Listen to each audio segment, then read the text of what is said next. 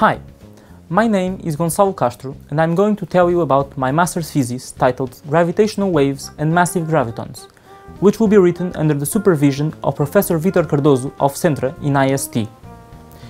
You've probably heard at least some of the words in the title, but to properly understand what they're all doing there, we should start from the beginning. In 1915, Albert Einstein first proposed his theory of general relativity. According to it, we can think of space and time to be a single four-dimensional entity, deformed by massive bodies, such as stars and planets. These deformations then rule the trajectories of other bodies, such as our planet's orbit, us falling from a staircase, and even the path of a ray of light. The predictions of this theory are tremendously accurate, and its validity has been confirmed in many different regimes. More recently, we have even directly confirmed the existence of gravitational waves, oscillations of space-time itself. However, all is not well, otherwise I wouldn't be filming this video. The subject of my thesis is motivated by two problems, an observational one and a conceptual one.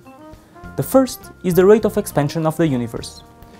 We can model the universe through the theory of GR and, based on what we know, we would get to the conclusion that the universe should be expanding but at an ever slower rate, due to the gravitational attraction of its galaxies. However, experiments tell us that the opposite is happening. Actually, the expansion of the universe is accelerating. So, either there is something else in the universe we don't know of, and this is the idea behind dark energy, or gravity does not behave exactly as we expect.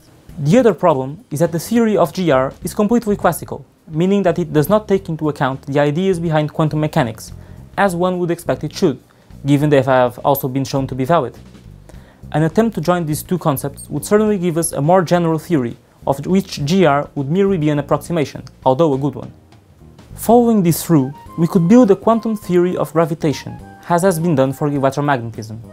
In this case, it was posited that electromagnetic waves, also known as light, could also be described as particles, called photons. By its turn, this photon could be used to describe the electromagnetic force that two charges feel.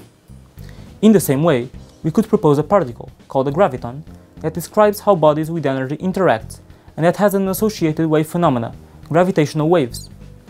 This graviton would then describe how massive matter, like stars, or matter with energy, like light, interact. This description would actually give us something very similar to GR, not solving the observational problem we had. However, we can make a simple change to the theory to make it work. Considering a graviton that is not massless like the photon, but has a very, very small mass, the behavior of gravity at long distances is changed, possibly solving the expansion problem. But we would also like to have some other way of testing whether this massive graviton idea is right or wrong. Fortunately, it is expected that its mass slightly changes the signal of gravitational waves, such as the ones that have already been detected by the Virgo and LIGO detectors. And, finally, it is here my dissertation comes into play. My work will be to calculate what is emitted, in terms of gravitational waves, when a body falls into a static and stationary black hole, the simplest kind there could be. Not for the theory of general relativity, but for a theory of massive gravity.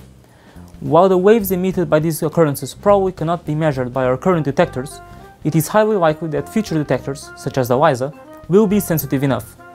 Then, we will be able to test whether the graviton can indeed be massive and probe deeper into the nature of gravity.